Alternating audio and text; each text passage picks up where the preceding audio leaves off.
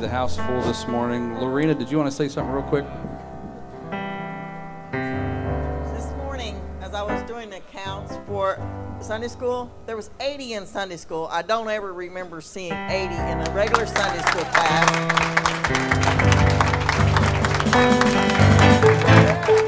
And last Sunday, the teens kind of challenged everyone with the offerings. They won it last week, but you lost this week. We won. Lori's class had $14, but there was two close. The juniors had 1305.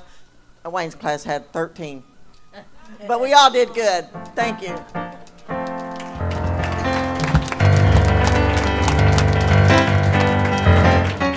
Good morning. I just have a really quick announcement for the teens. Our teen Bible study was supposed to be tomorrow night at 7 o'clock here, but because of volleyball, we're changing it to Tuesday night at 7 o'clock, and it will be here. And then, uh, if you have access to the church calendar, which you can get that from the website, you will know that this Friday night at 6:30, it's the married couples night out at the levee. So bring your spouse with you. Uh, we'll meet at GameWorks at the levee at 6:30 this coming Friday. All right, if you were in my Sunday school class this morning, raise your hand. We were beat by a bunch of little kids. I just want you to know that.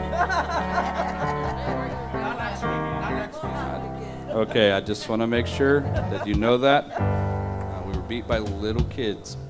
Let's pray and invite the Lord into the service. Can we do that? Heavenly Father, we come before you this morning, God, so thankful for your blessing, so thankful for your presence, God. We are looking forward, God, to what you have in store for us this morning and tonight, Lord. God, let your spirit have its way, we pray. In Jesus' name, amen. Remain standing if you can. We got two birthdays this morning. Uh, Lily Dela Cruz, she turned 45 this week, right? And Caleb, he's turning a big eight tomorrow. And Caitlin, oh, come on up. I didn't know. Anybody else? Any more birthdays? Who? Tiffany. Riley, that's right. Riley's was just the other day. Come on, anybody else? Oh, Mary. Who? Charlotte. Okay, Charlotte and Lori, come on down. Come on down. Wow, I don't think we've ever had this many birthdays before in one service. All right. You you can't count. You don't know how. Anyway, you're living on a different calendar, Bernardo. Oh, happy birthday to you.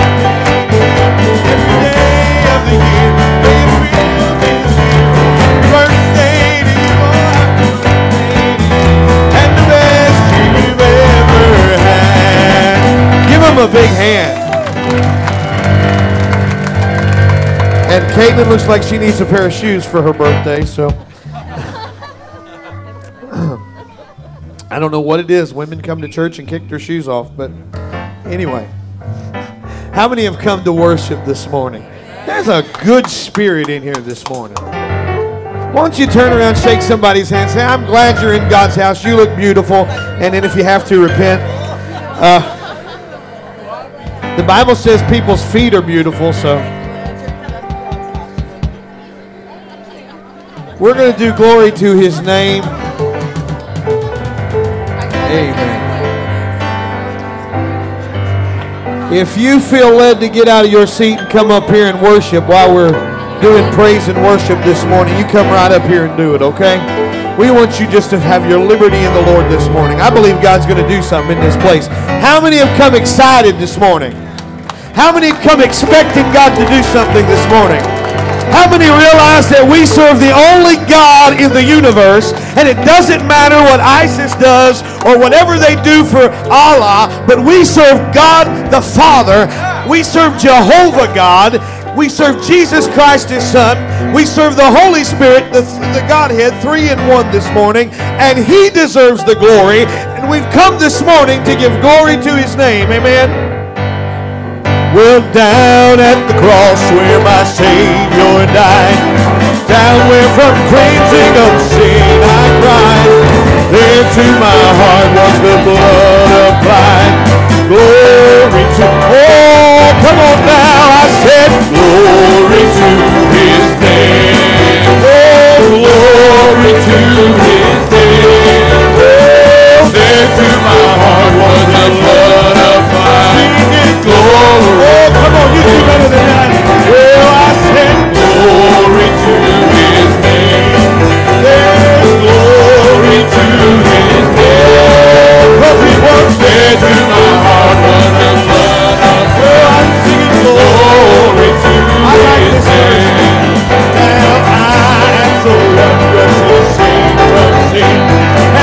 Jesus so sweetly abides within. There to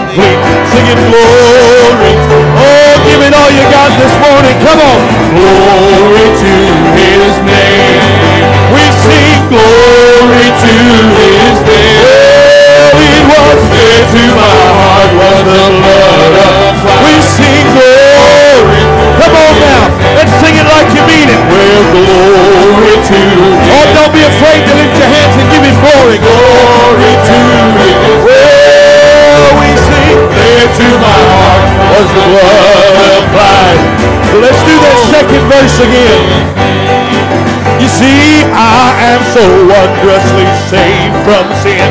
And Jesus so sweetly abides within. Cause it was there at the cross where he took me. I'll sing glory to.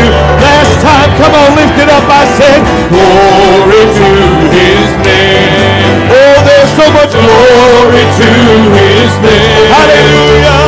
There to my heart was the of Oh, we sing glory to on, lift your hands and give God some praise. We bless his name this morning.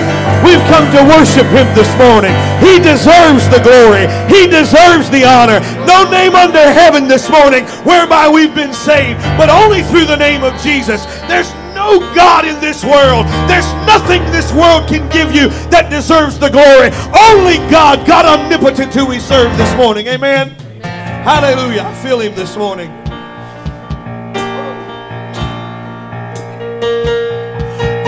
Deserve the glory. Come on, lift your hands and tell him. And the honor. Lord, we lift.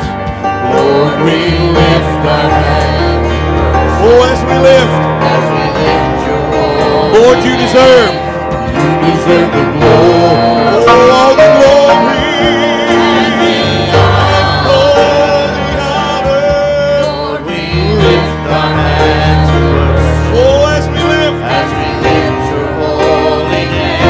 For you are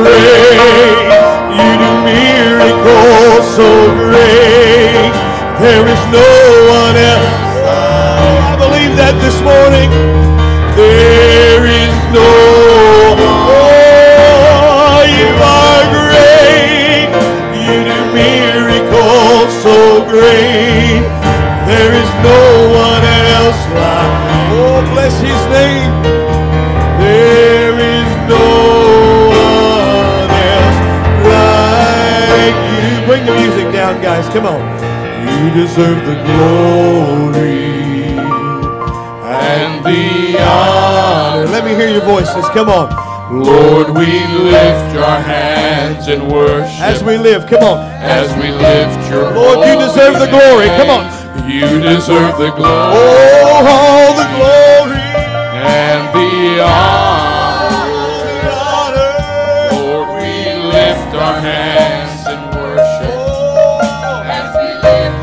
Why? Because he's great. Come on, punch it. For you are great. You do miracles so great. There is no one else like you. believe that? Come on. If you believe our God's great, why don't you lift your hands and tell him, come on, you are great. You do miracles so, oh, you're so great. You're so mighty. You're so lovely. You're than anything. You're more than wonderful. You're more than awesome this morning. Oh, you are great. You do miracles. His name, yes, is. There is no one else like you. There is no one. Oh, you are great. You do miracles so great. Oh, there's no one. Oh, there's no one. There is no one else like you. Bring the music way down. You deserve the glory. Let me hear you. Come on. and the honor. Come on. Lord, we lift our hands in worship As we lift. as we lift your holy Oh, come on, lift your hands and tell him. You deserve the All and.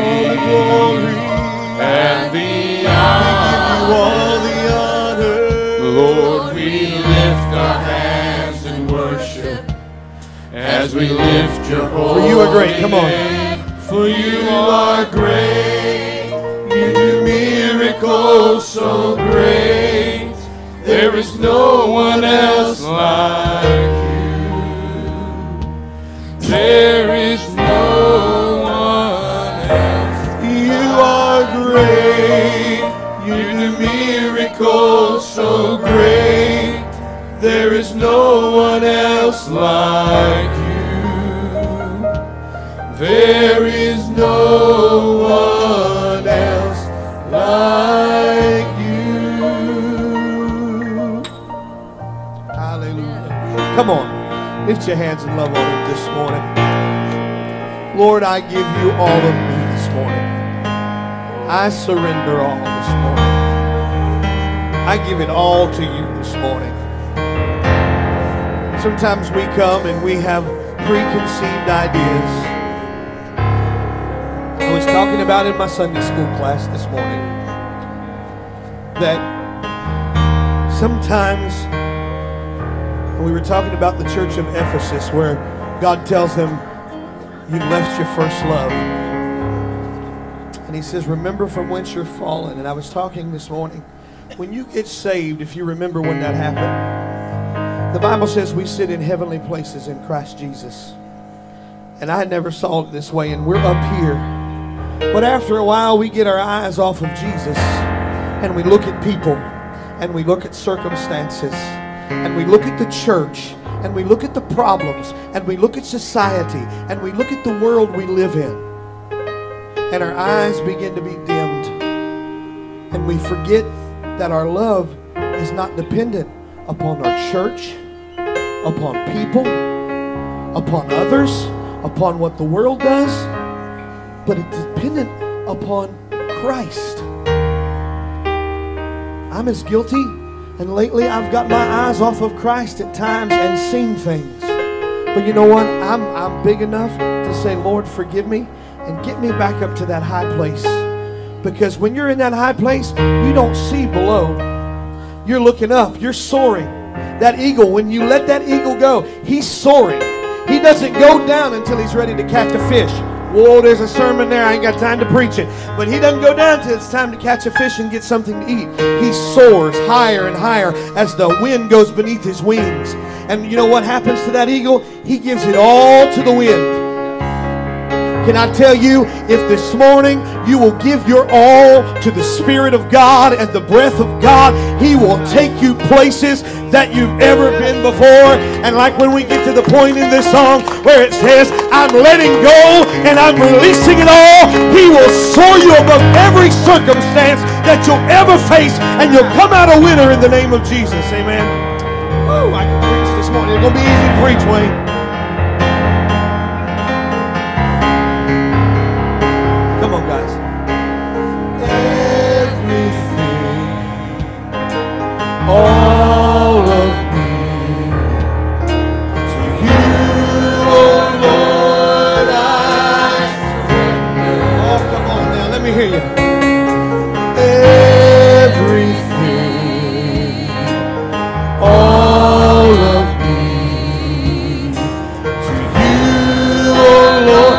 It's real simple. You new folks, you'll get it real easy. Everything. Come on. I said everything. Oh, I give you all of.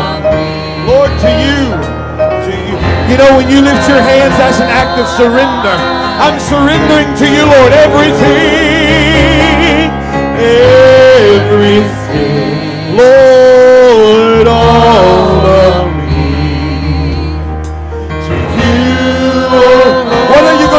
this morning? Listen to the words of this song. All my hurts. Come on. I said, all of my hurts, all of my fears, all of my fears, all my heart, all of my heart, I surrender. All my plans this morning. Come on.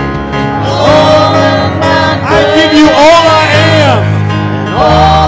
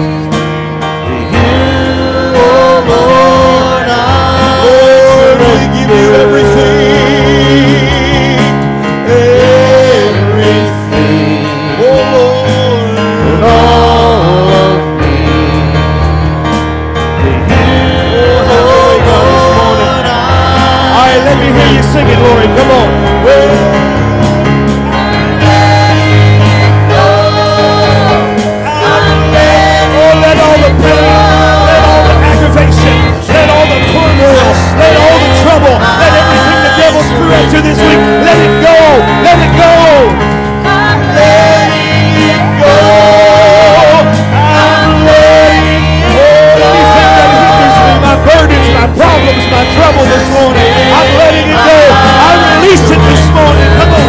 Well, I, re- I release the Spirit of God. I release the power of God in my life.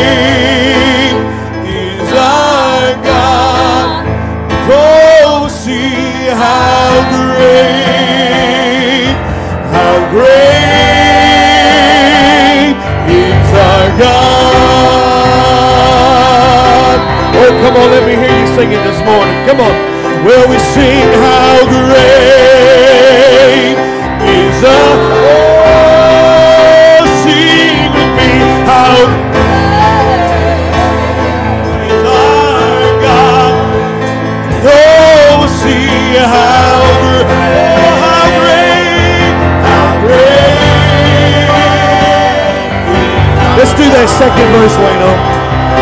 Listen to this verse. I love this verse. Think about it. Well, age to age he stands. Well, time's in his hand. Come on. Well, time is in his. He's the beginning and the end. The beginning and the end. He's the Godhead. Come on. He's the Godhead. He's Father, Spirit, and Son this morning. Oh, and I'm glad he's the lion and the lamb. The lion and the lamb. Oh, the lion and the lamb. Oh, and we sing how great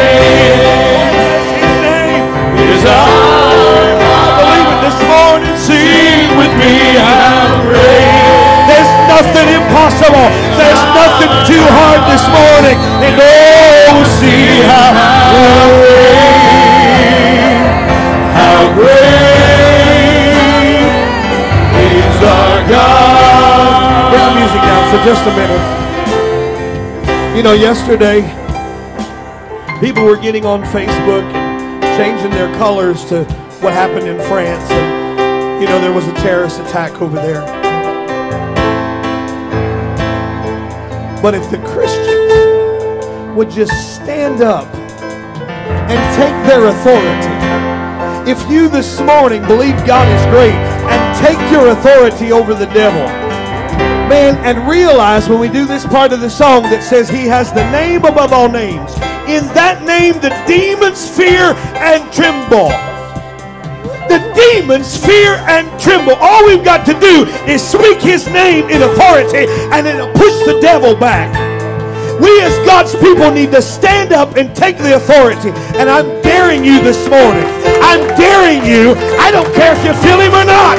I don't care if you think I'm losing my mind up here this morning. But if you push through, I guarantee if you take the challenge, he'll meet you there this morning. And you can't say he's the name above all names and he deserves the glory and he deserves the honor and he's Lord of lords and he's King of kings and not feel something down in your bones. I remember we were in the basement of the church when we first started. There was a young man there who said he was an atheist. He said he didn't believe in God. By the end of the service, he felt the power of God on his life. We got one right here this morning. Said he didn't believe in God, but he's up in the altars and he's seeking and praising God.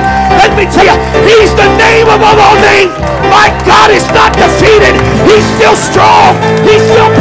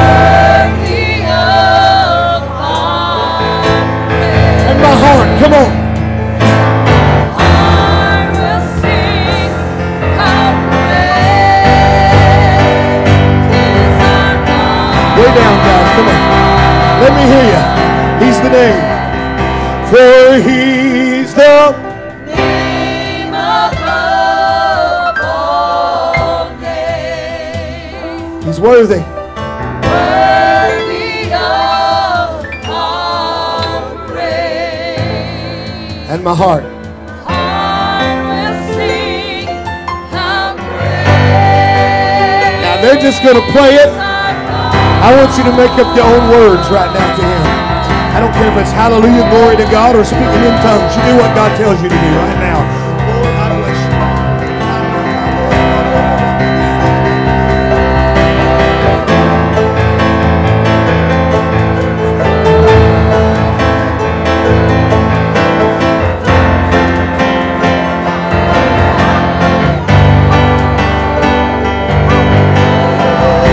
on, how great is our God. One more time this morning. Oh, and we sing, how great, give it all you got, come on, is our Oh, sing with me, how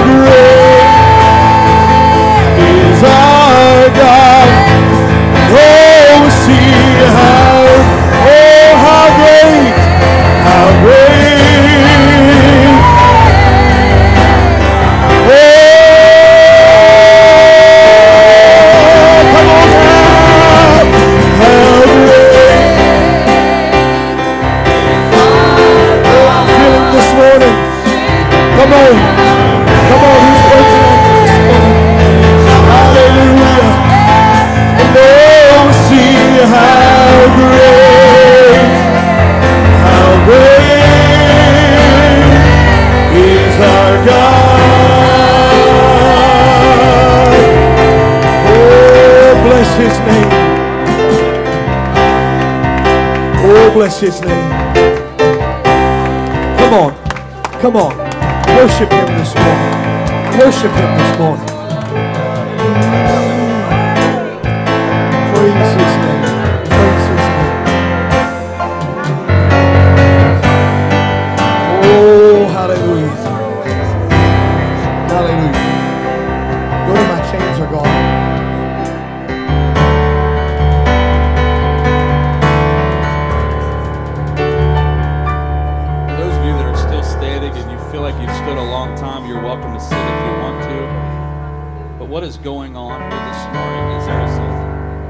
Sweet spirit that's sweeping through the place.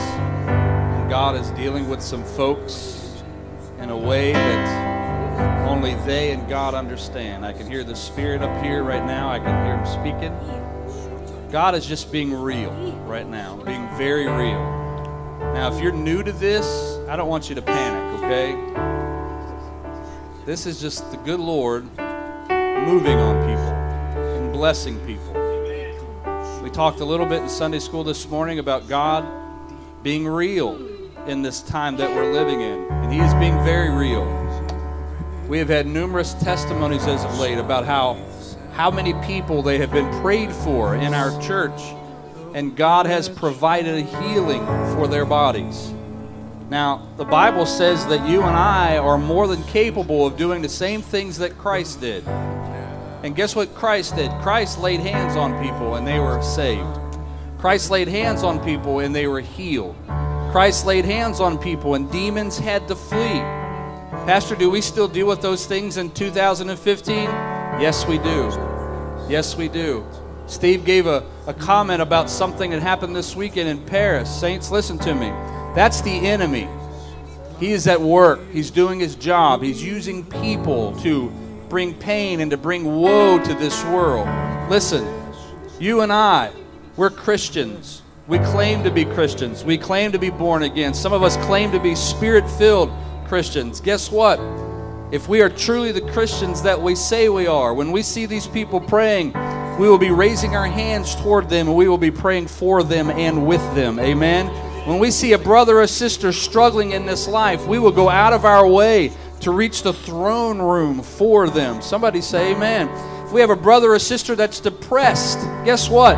We will go to God for them and we will not stop praying until God moves upon that need. Listen, the Bible tells us to pray for our world, to pray for our leaders. You may not like our leaders, but the Bible demands that we pray for our leaders. And guess what? Right now, our leaders need to know who God is and they need to know that He is real. So if you can and if you want to, and I understand if you stood too long, will you stand with me one more time, please? And after we're done with this prayer, if you want to sit back, you're more than welcome. I understand it. I understand it. Thank you, guys. I appreciate that. Will you raise your hands? We're going to pray for these folks that are in the altar here right now. We're going to pray for our world. And if you feel the need, you can pray for the person sitting next to you, standing next to you. I feel God in this place. I feel God. I felt Him yesterday, but I feel Him today as well. Can you feel Him this morning? Father, we are coming before you now, God. We want to acknowledge your presence. We want to acknowledge the presence of your Spirit, God. Father, I want to acknowledge, God, the feeling that I have in my soul right now, God, the touch that I am feeling upon myself right now, God. Father, God, I thank you for that. God, I thank you that you're real. God, I thank you that you're healing people right now, God. I thank you, God, that you're delivering people right now, God. Father, I'm thankful, God, that you were able to comfort a, a, a, a, family, God, yesterday, Lord, that was in pain, God. They were, they were struggling. They were dealing with something difficult, God. I'm so thankful for that. God, I'm thankful, God, that even though our world is in crisis right now, God, you're still God. Father, I still believe in you. God, I still have faith in you. God, I know that you're still on your throne. God, that I know you're still up to the things, God, that you said you were up to. And God, you're about to perform something awesome. You're about to do something great, God. Something, Father God, that's going to blow our minds. God, these that are in the altars up here, Lord, Father, you know what they need. You know what they're struggling with, God. You know what they're battling with, God. Father, touch them right now, I pray, God. Move upon them right now. Be real to them right now, God. Be real to them. Be real to them. Would you give God a big hand clap, please?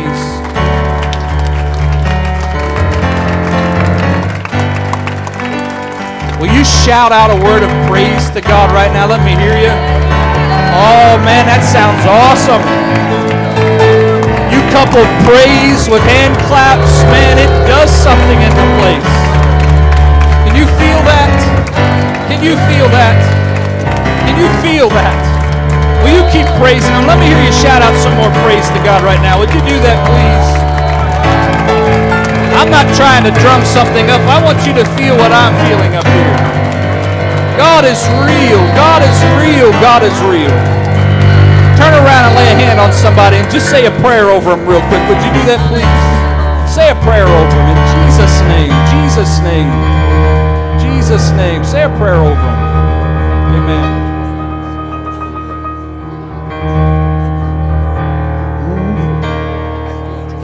Well, I'm a little tired of the devil's games, keeping me in bondage through my trouble and pain. I can live better, I won't go another day. I'm here to claim deliverance in Jesus' name. Come on, let me hear. I feel the joy of the Lord falling fresh on me. I feel the joy of the Lord delivering me. I feel the joy well, he's all over me. Come on, let me hear you sing it this morning. Well, I feel the joy of the Lord falling fresh on me. I feel the joy of the Lord delivering me. I feel the joy of the Lord. Oh, I like this part. Come on, I've been loose this morning. Well, I know I have been loosed. I've been set free. Well, pardon me a moment and I have a jubilee for the joy of the Holy Ghost. He's all over. Well, I know I've been loose and I've been set free. Well, pardon me a moment and I have a jubilee for the joy of the Holy Ghost. Is uh, let me hear you sing that. Come on, I joy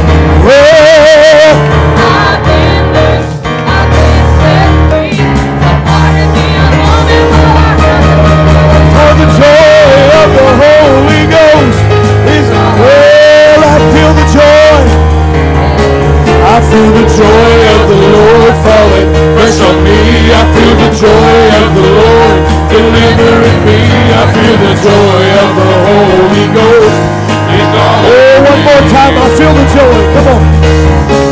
I feel the joy of the Lord falling fresh on me. I feel the joy of the Lord delivering me.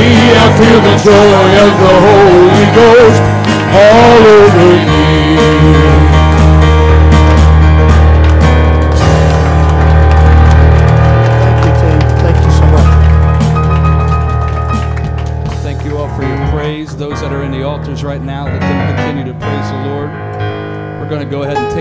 Offering right now, if you don't mind. So, if our ushers, Brian and Jay, if you don't mind coming forward, please. Listen, God is very real in this place, very, very real.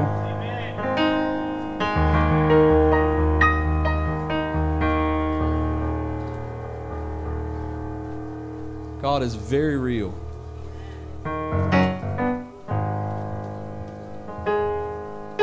want to say to you, you folks are a very giving church, and I, I'm so appreciative of that. It's because of your giving we were able are able to minister to so many folks, not just within our church, but outside our church. We've helped some folks here lately. Tito put a sent out some videos, and I actually posted on Lori's page this morning. Shows him ministering in a very large crowd of people, and it looks like all men. I'm not sure if it's only men, but he's ministering in a large crowd back in his home country of El Salvador. You're sponsoring him, you're supporting him. Amen. You're doing that. So you can see your money when you're giving it to this church, it's not staying only inside this church, but it's blessing the people in and outside of our church. We're supporting missionaries in Scotland. We're supporting missionaries in Western Europe. We're supporting missionaries in Africa. Amen. We're supporting other churches throughout the United States. And this is where all of your money is going to. Amen. So if you have your offering, put it in your hand and hold it up, would you please? Even if you don't have an offering, would you hold up your hand? I want you to pray that the good Lord would bless this offering right now. Pray with me and pray that He would continue to multiply it. Would you do that, please? Father, we pray right now, God, that you would bless this offering, God, that you would anoint it, God, that you would use it for its intended purpose, Lord. Father, God, help us to see many souls saved, many lo- souls changed, great God. Bless it right now in Jesus' name. Amen. Just play something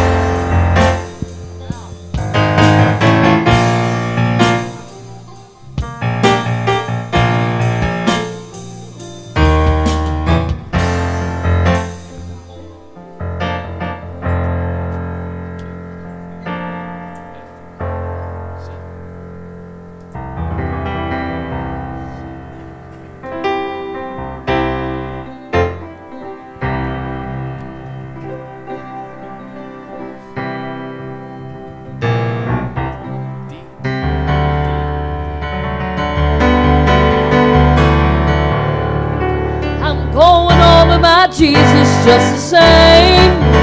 Yes, I'm going on with my Jesus just the same. Well, you may false accuse me, scandalize my name, but I'm going on with my Jesus just the same. The narrow way is a straight way. Don't have no crooks or bends. I gotta go on for Jesus, cause I know he's my best friend.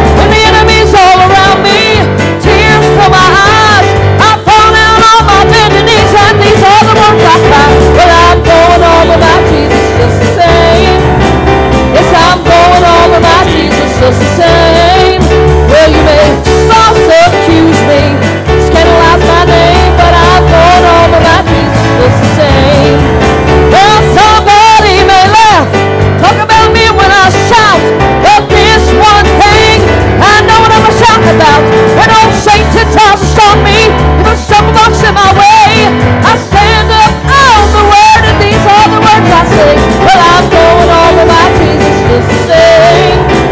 Yes, I'm going with my Jesus just the same.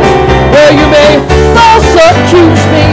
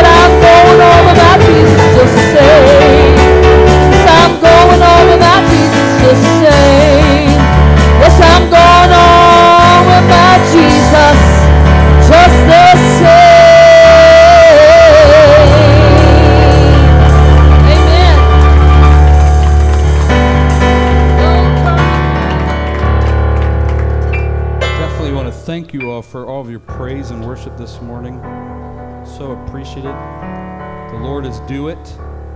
Amen. It all belongs to Him anyway. So we are so thankful for that. Amen. Musicians, could I ask you after church to stick around for a few moments, please? And sound people. I appreciate that. Matthew chapter 6 and verses 22 and 23. Now, in my Sunday school class, we're probably going to go over these verses in detail next week. But I want to preach these some this morning. Matthew chapter 6, verse 22 and 23.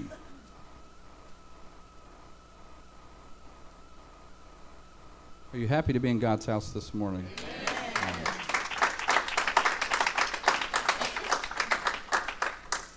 Verse 22 says, Your eye is a lamp that provides light to, for your body.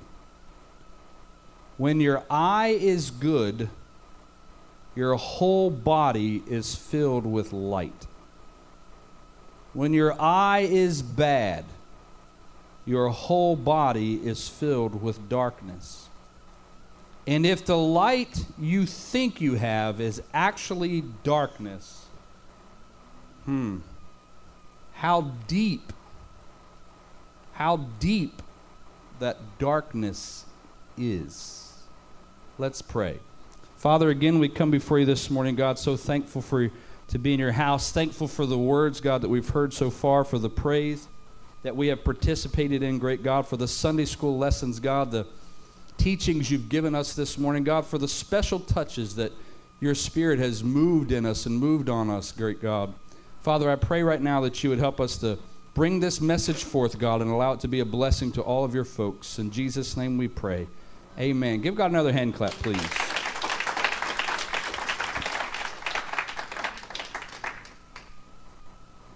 Here's a little background. In the Sermon on the Mount and in James chapter 1, 6 through 8, we get an important thought. You can't walk in two directions at the same time. You can't operate in drive and reverse at the same moment. You can't focus on light and darkness simultaneously. Staying in focus is a challenge for everyone. Somebody say amen. James chapter 1 verses 6 through 8 says this, "But when you ask, you must believe and not doubt. Because the one who doubts is like a wave of the sea, blown and tossed by the wind. That person should not expect to receive anything from the Lord. Such a person is double minded and unstable in all that they do. We've learned in our Sunday school class that some of the teachings, many of the teachings that Christ has given us, they can be very difficult in carrying out. Somebody say amen. Let this mind be in you, which was also in Christ Jesus. Jesus not only performed miracles, Jesus not only cast out demons, but he taught throughout his whole ministry. He spoke very clearly about the things that you and I should be doing. Somebody say amen. As we walk in this life, especially if we say that we are Christians, especially if we say that we are disciples, followers of Jesus Christ. Something I showed the class this morning is there is a, I don't know, a poll out there, whatever you want to call it, that says there are at least a million people who claim to be Christians. But when you really dig down into, the, into their definition of what Christian is, their definition of Christian may not truly be what the scripture says a Christian is. You see, this world thinks Christian, and Sarah gave a good definition this morning.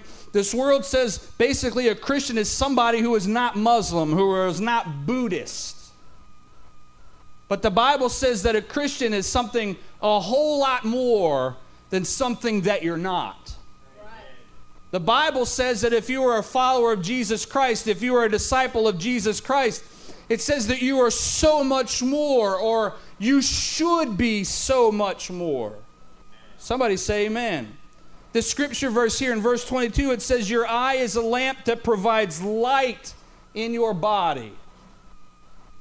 How many of you wear glasses? How many of you should be wearing glasses and you don't? There we go. Okay. How many of you noticed or remember the first time your eyes started to go bad?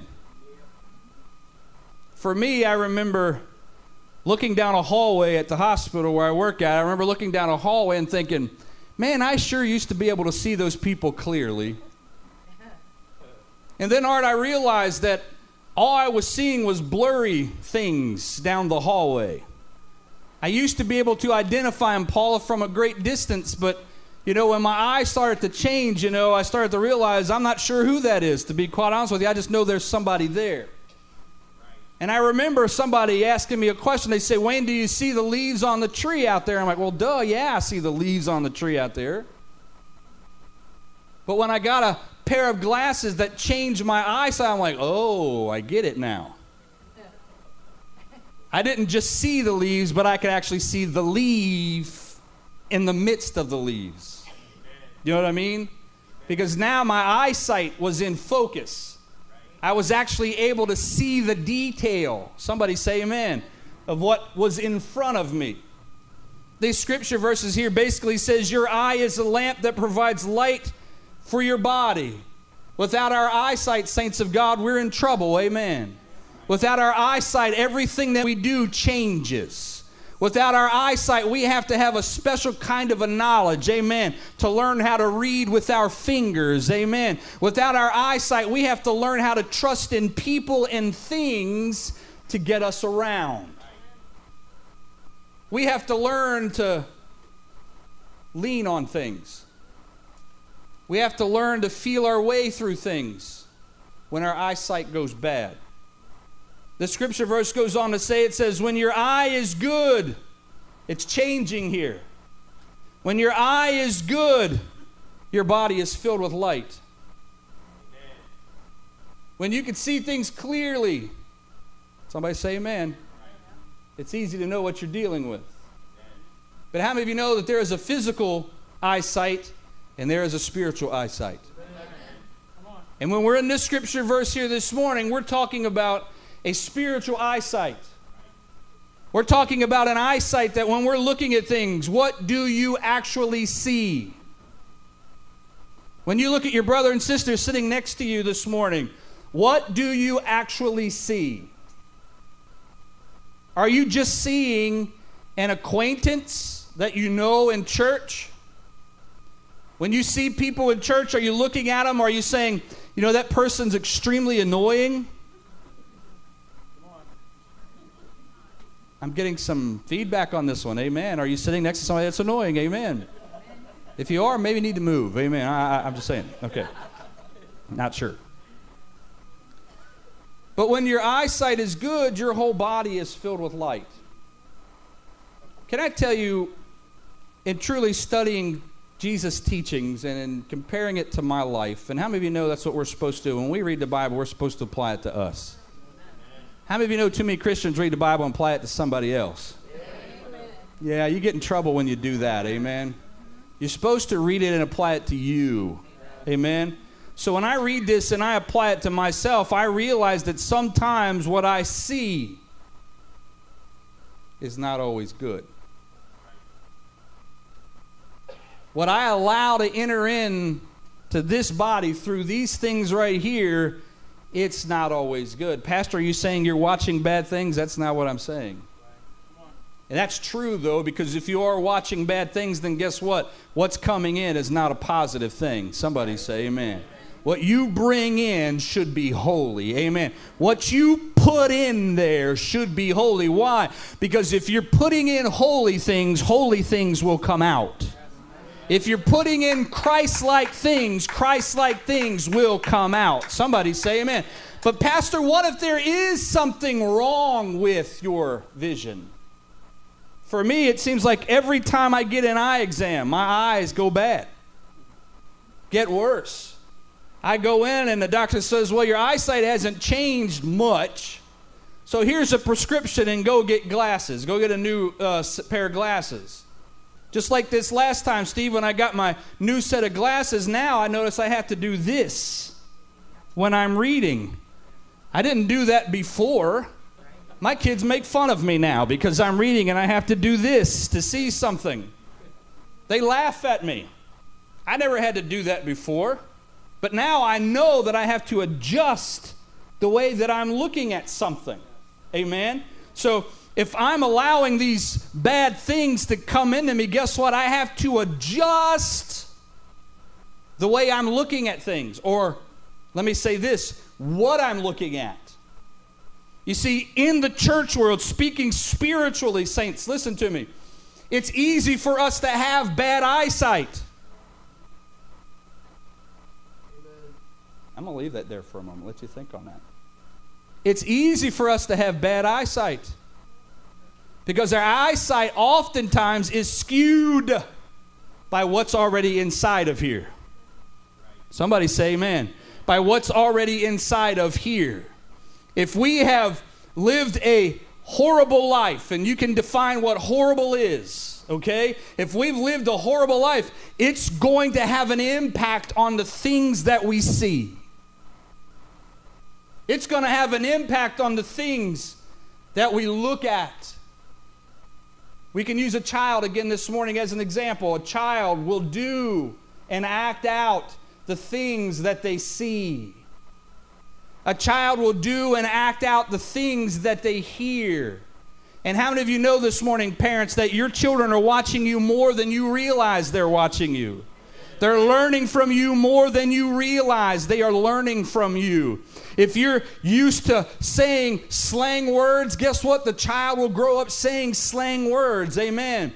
If you're used to being always positive and very uplifting like I am, then your children will be the same way.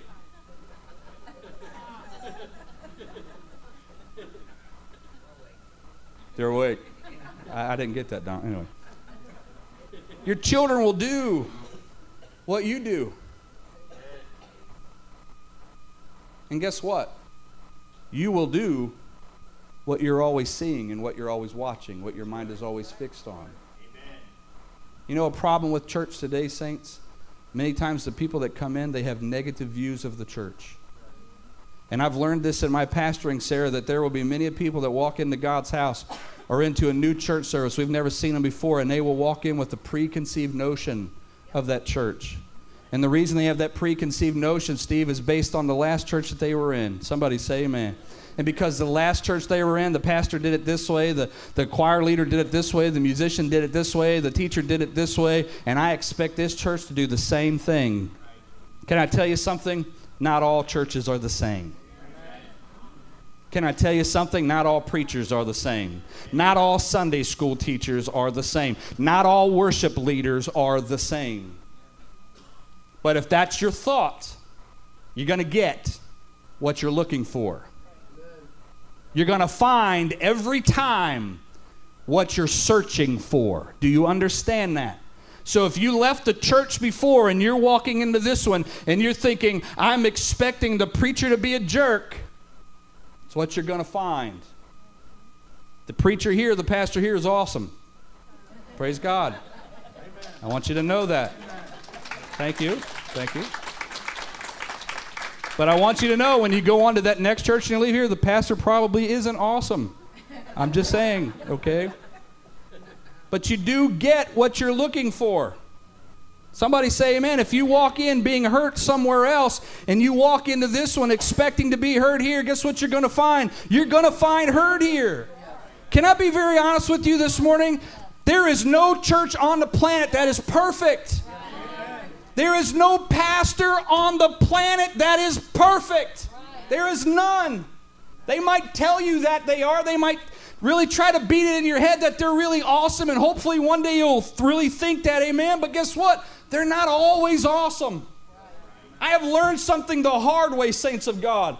The closer you get to God, the stronger the battles are at times. Somebody say amen. But can I tell you what those battles do? Those battles change the way you look at things. I said it yesterday at a funeral, and I said it in Sunday school this morning. Life changes your perception, and you determine if it's bad or good. If you look at everything that happens as negative, guess what? Your outlook is going to be negative. The way you treat people is going to be negative. But if you could take the things that God has allowed you to go through and see it through His eyesight, I'll use Tito as an example here. If anybody was in this room, you all remember what he said the last minister's meeting before he left us. He made the comment, I am ready for God to use me any way He wants to. Nobody in that room understood the impact of the words he was saying. But we sure all learned it really quick. Now, if it were me that was picked up by ICE and whatever those names of those groups are and throw me in jail, I'm not so sure that my perception of what was going on would be as positive as his. But he took every opportunity he had to preach the gospel to the people that he was around. When he was in Louis- when he was in Boone County, he was preaching. When he was in Louisville jail, he was preaching. When he was in Chicago waiting to be deported, he was preaching. I think there was another stop between Chicago and El Salvador, he was preaching. When he got back to El Salvador, he was preaching. And you know what? From time to time, give God a hand clap for that.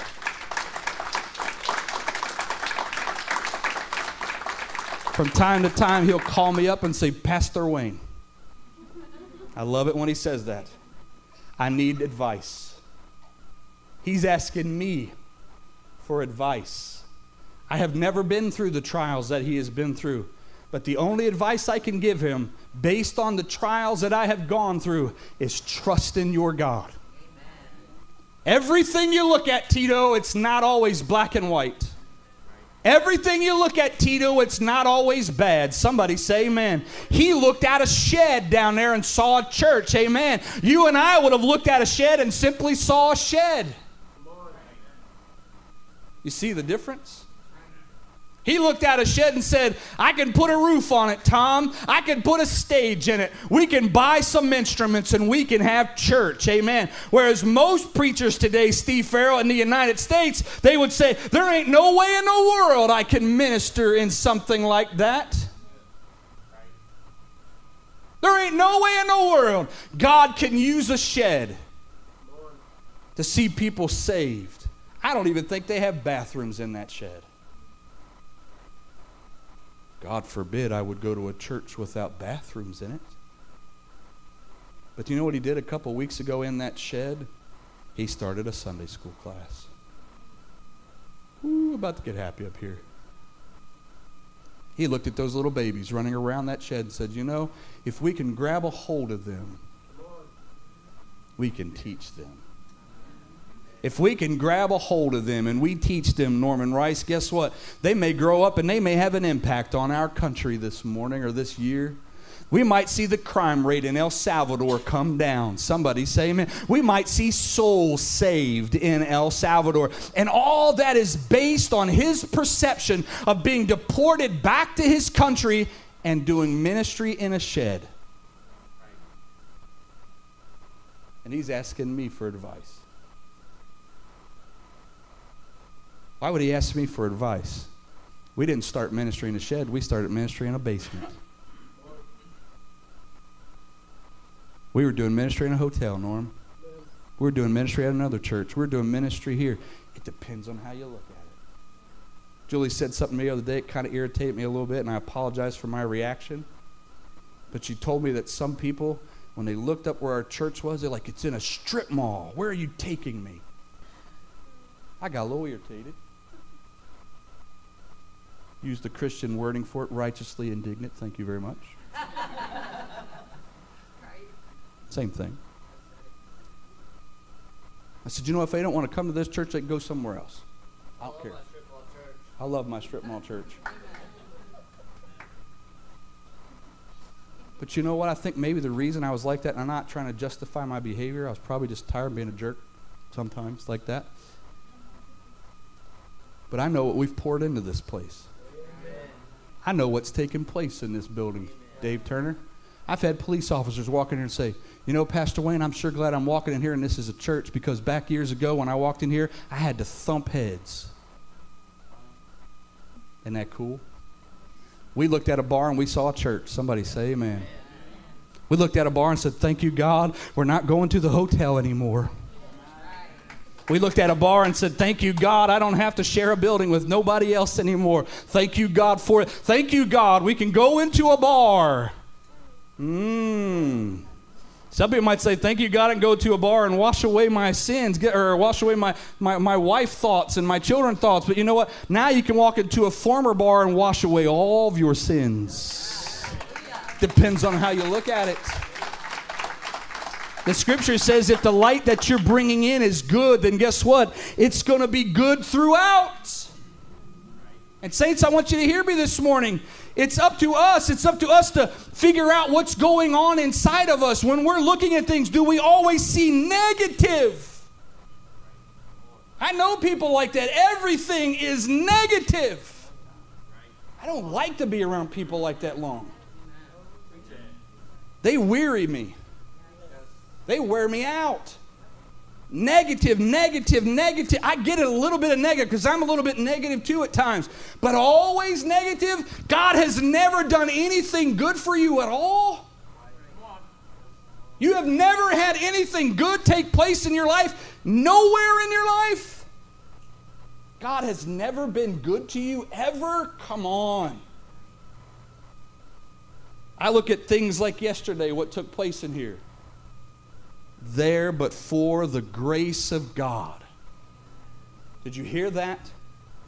We had two boxes up here from where he had been cremated. There but for the grace of God.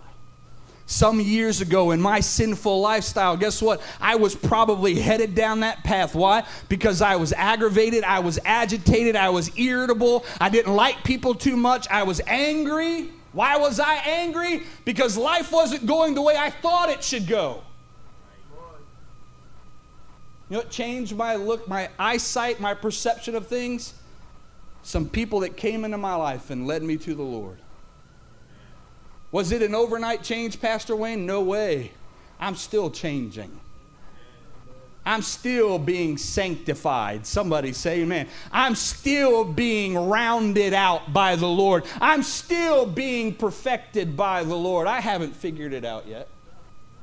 And I am so, so thankful that I got saved those many years ago because you know what? The path that I was headed down probably would have took me down the same path of the young man we did the memorial service for yesterday. And can I tell you what that's also done for me, Julie? When I see other people like him, I don't really look at them and say, what idiots, what jerks, what fools. I look at them and realize they need to be reached. They need to be reached at all cost. They need to be reached. And I wish, I wish I would have had the opportunity to get to him before he did what he did. But can I tell you another change in my perception, Jim Brun? Some people might have wrote him off because of what he did, but can I tell you something I know about God? He doesn't leave you alone. He knew about God. I found out, Dave, that his whole family, Pentecostal people, I was like, ooh, he knew what prayer was. He knew who God Pastor, you're trying to put something. No, I'm not. I'm going to tell you something. God never leaves you alone. How do you know that? Because something changed my perception on that one on that very thing one day too, saints. God doesn't leave you alone. I've talked to many of former drunks that Jesus speaks to them on bar stools. Amen. Through a drunken stupor, through a drunken haze, God is still speaking to them. See, my eyesight, my perception of Jesus, my perception of God, my thoughts have changed on what He is capable of doing, what He will do, if we will allow Him to do it. And, Saints, I want you to understand something this morning. If God truly has a call on your life, the reason your life is not going the way you think it should go is because of you. I want God to forgive me of all my sins. We read it in Sunday school this morning. You have to forgive others of their sins. I don't want to do that. Right? I don't want to do that. I learned a long time ago you don't have to like everybody.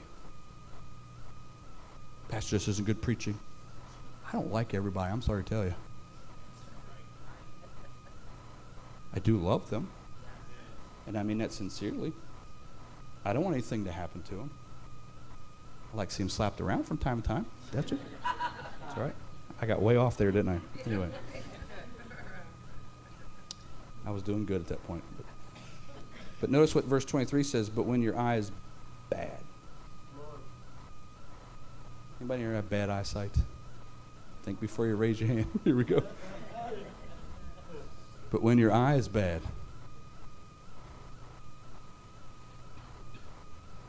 Anybody ever think, man, my eyesight's getting really, really bad, and then you look at your glasses and they're just simply dirty? when you take a little bit of Windex or something and you clean it off, it's like, whoa, I can see really good right now. Sometimes, saints, just to steal from another part of Scripture right now, sometimes we have a little bitty splinter or something in there that's just simply blocking our eyesight, that's simply skewing the things that we see.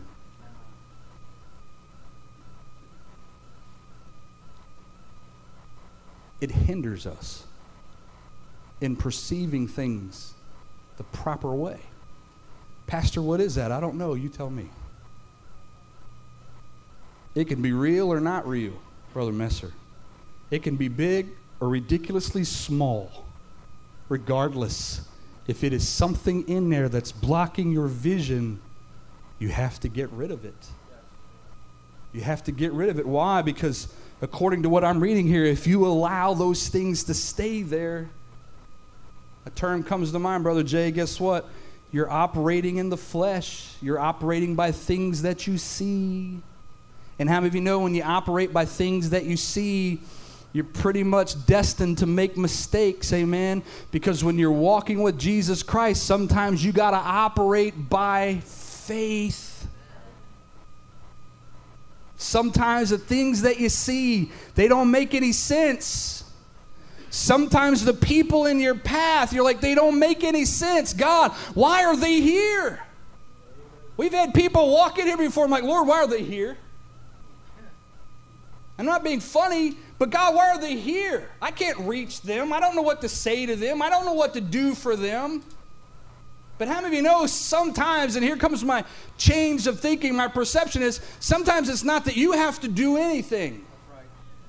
Sometimes it's just you making them feel welcome in this place so that He can do what He has to do in that situation.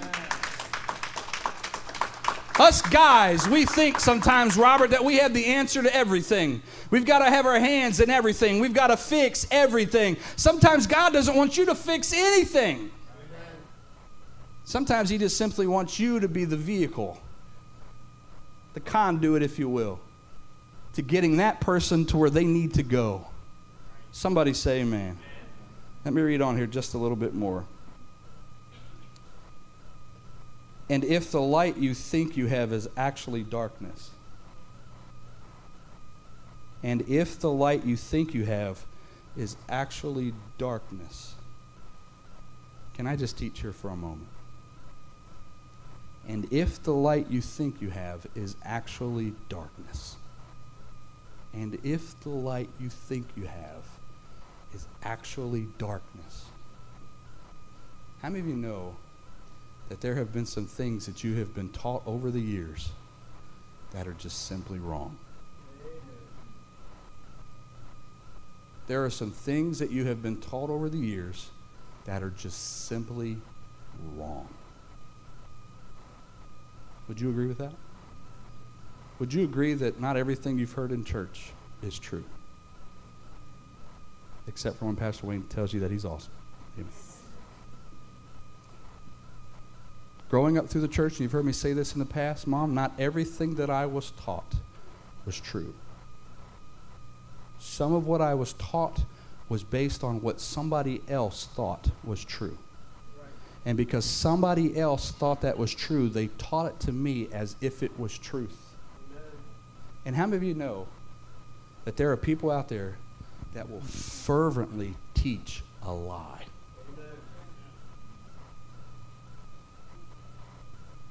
Fervently teach a lie. They will build denominations on lies. I'm going to say this a lie will take a whole group of people to hell because they choose to believe it. Can I tell you something? I believe in the Spirit of God.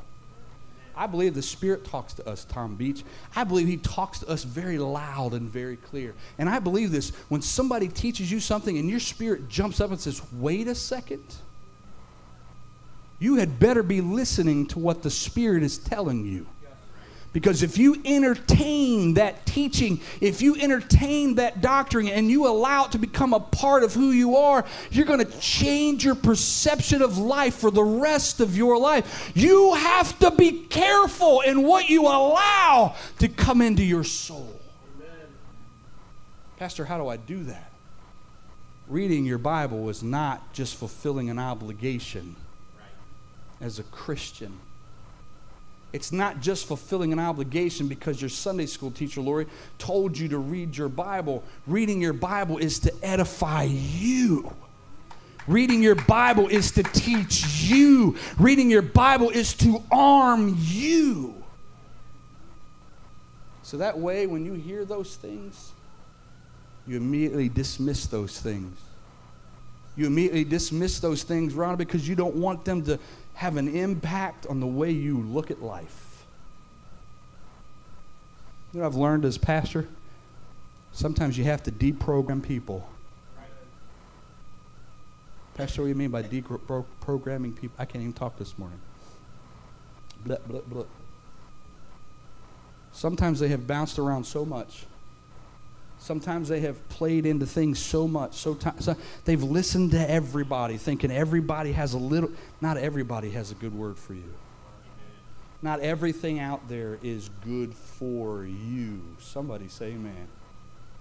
So you have to examine yourselves this morning, saints of God. The things you have been taught over the years, have they edified you? Have they lifted you up? Have they strengthened you? Have they made you look at this world differently? Or have they just simply clouded your view over time? I think I should have never got glasses. Because ever since I got glasses, my eyesight's gotten worse. Some people might say, Wayne, it's just because you're getting old. Not true. I'm always young. Praise the Lord. Thank you, Wayne. Help me out there, brother. I saw him. Yeah, Wayne, preach. He drives up the Barber, drives up from Barberville because I'm awesome. There it is. Shut up, Amanda.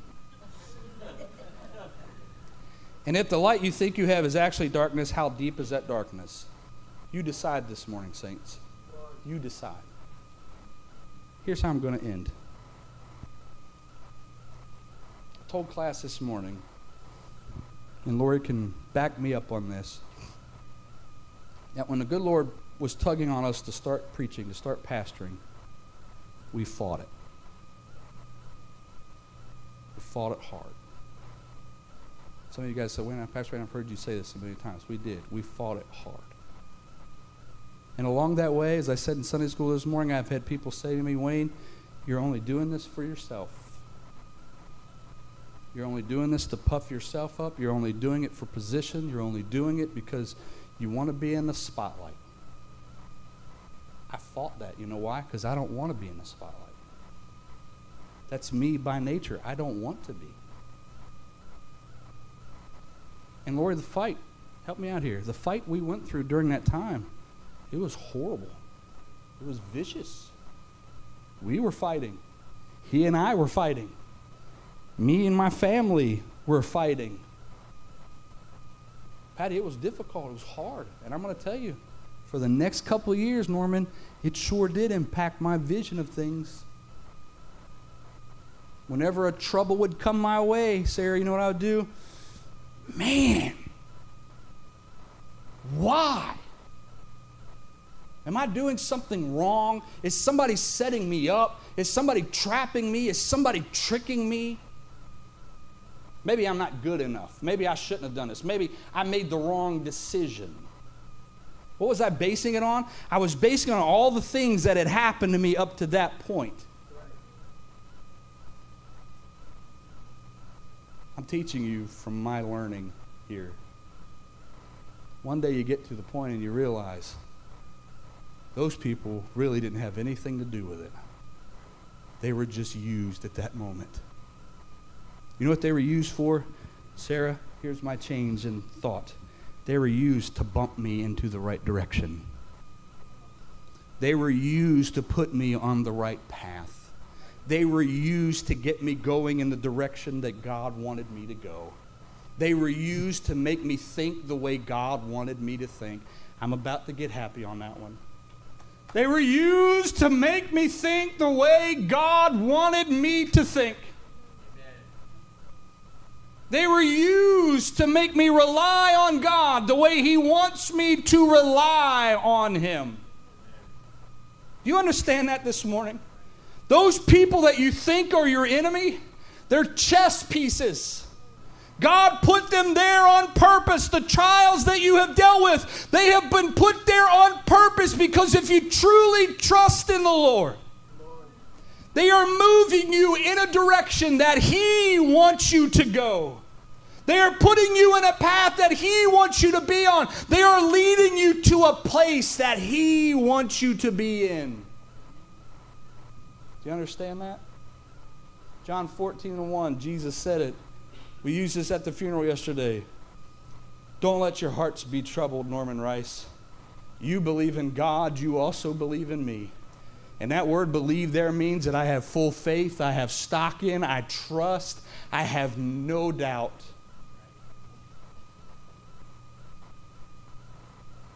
Do you believe that this morning? I have full faith in him. I trust him. I've put a lot of stock in him. Can I say this? He has proved himself to me. I felt good saying that. He has proved himself to me.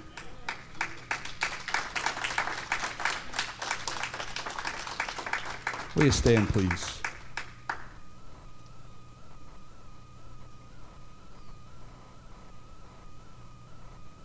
Can I ask you this? Has he proved himself to you yet?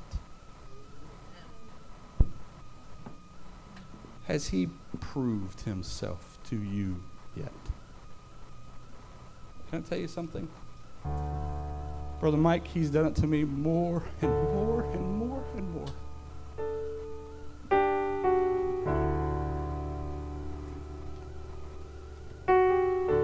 You know what he does, Brother Art? When my life is chaotic, anybody ever have chaotic times in your life? I kind of step back and realize, Brother Tom, that's when he's using me the most. When I can't even think. You ever had those times? Things are just going so you can't even think. Yesterday morning we got up early. We had to go to NKU with Wayne. We were talking to professors. We were talking to leaders of departments. We were having a good, we were dreaming with him yesterday. Then we went on to an appreciation luncheon, and then we went on to a funeral. My suit was in my truck. I got here, I went to the bathroom and changed. Went from one role to another. But you know what the Lord was doing to me and through me through all that? Ministering to a whole bunch of people. I got to tell people at NKU, I'm a pastor, and that's my boy. The one lady, she just let me say, okay, that's great.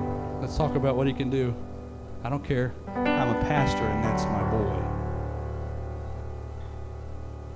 Ministering to people that work all the time in the church, you know what? Those are my people. I love them. And you know what? A church cannot function without people who work, who will not work and. You got to have them. And then sometimes, Brother Dallas, you minister to people you don't even know. How many of you know that everywhere you go in life, there are people that are either being ministered to by you or being hurt by you? Everywhere you go. Everywhere you go. Brother Ed, being a pastor, you know what's done to me? It's changed the way I look at people. When I look at you, I was watching you this morning. You were driving in ahead of me. I was like, that is one awesome fellow. When he first walked in, wasn't so sure. But you know what tells me though, Maxine? It tells me that if somebody gets in and they hang on to the Lord over time, things will change. Oh, their eyesight changes. They see things in the church that I don't see.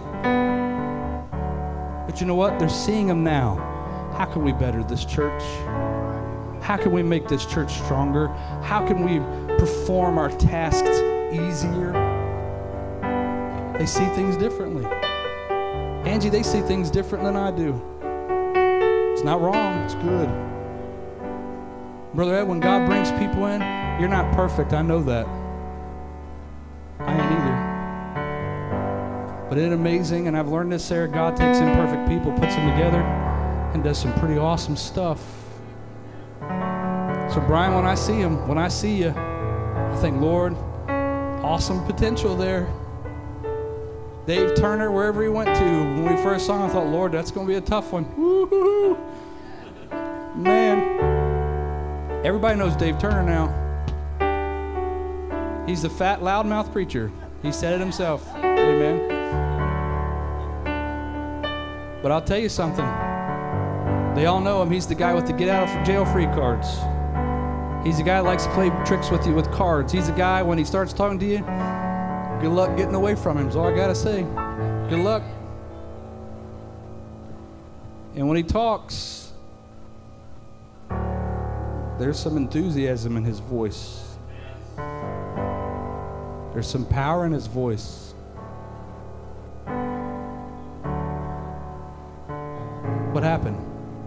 Katie, his eyesight was changed, his vision was changed, his perception was changed.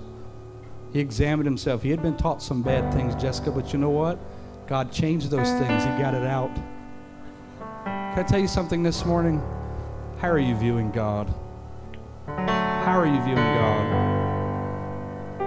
If you're viewing God as this big mean ogre, it's probably because you don't really know him very well. If you're viewing God as this judgmental God that's waiting to pounce on you, it's probably because you continue to sin and you've never given it all over to him. See, it's based on what you're doing. But if you're looking at it thinking, oh, Brother Dallas, this is a very loving, a very merciful God. You know how you know why you look at him that way? Because he's forgiven you of much. Oh my goodness, saints, he's forgiven me of much. He's helped me through so much stuff. He's my God. He's my God. Pastor, he's mine too, I know, but he's my God. I love him. I want to serve him. I want to be used by him, Norman. Why? Man, Missy, the things he's done for me, you all don't have time. The things he's done for me, you don't have time. You don't have time. Brother Mike, the things he's done for me, buddy, you don't have time. Been good. Will you bow your heads, please? If you're here this morning and God has spoken to your heart at some point, would you please, please, please, if He's tugged on your heart, wanting you to come to an altar of prayer, would you please come to the altar right now and invite Him into your soul? Would you do that, please? Listen, saints, if you've got somebody next to you, you got one person come to the altar now. If you got somebody next to you that you think needs to pray, you may want to work on them. Ask them, just simply ask them, do you want to go pray? Don't be afraid. Don't be afraid at all. Go. Go pray.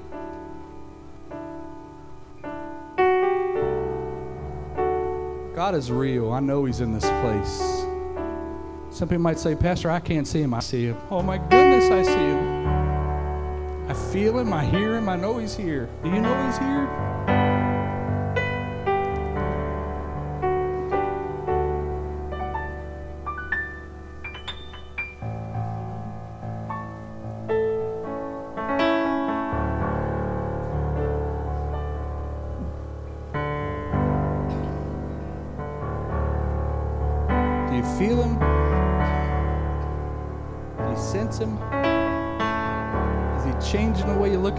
Mr. Clayton? Let me ask you this. Is your view of life, is your view of the Lord, is it impaired any at all? Can I tell you this? If you look at him as somebody as mean, somebody as difficult, somebody as harsh, you need to come up here and pray and really get to know him right now. Come on. If your view, if your thought every time you come to the church is negative, you need to come and pray. Let the Lord cleanse that. Let him get that out of you. I've learned that the more you know God, the more you love people. The more you know God, the more you view life completely differently. The closer you get to Him, the more stuff you go through with Him, the more you view life completely differently. I'm just going to call the church to prayer if you want to, either in your seat or in the altars. If you've got somebody next to you you think needs to pray, invite them to go to the altar with you. Would you please invite them to go to the altar with you? Please. Come on, saints. Find a place to pray. In Jesus' name, amen.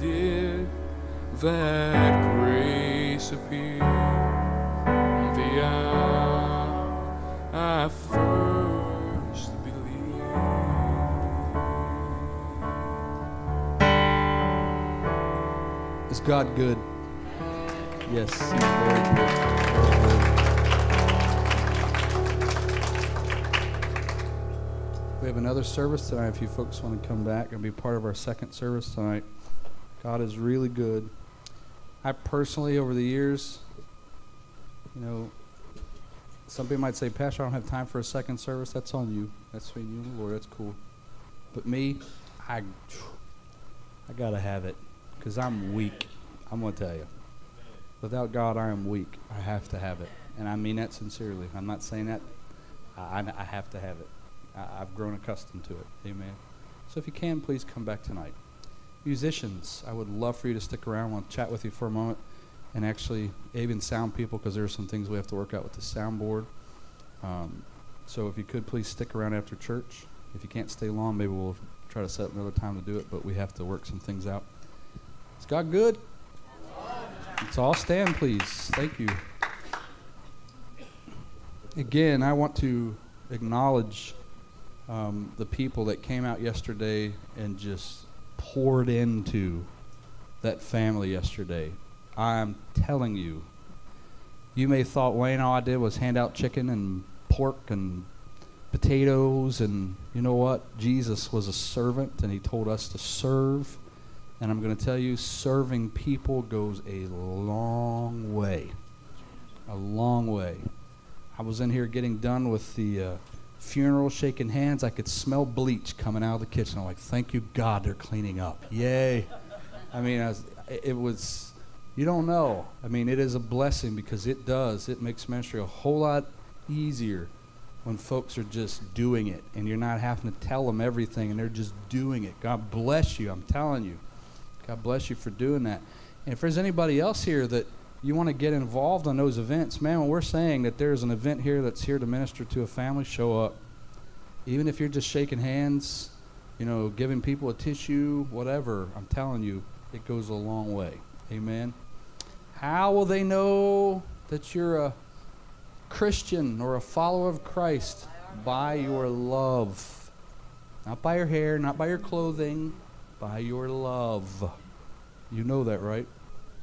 So they know, those people know we love them, and I'm going to tell you, it went a long way, and I promise you they will remember that. Let's pray. Father, we are so thankful to be in your house this morning, God. Thankful for your blessings, thankful for your word, thankful for this opportunity to praise you, God. Father, go with us today, God. Help us to share with others the things you have spoken to us this morning. God, help us to be great lights of this world, we pray. In Jesus' name. Amen. Shake hands and be friendly, would you please? Musicians, come on up front here for a moment. And I need to see the praise and worship team too. So.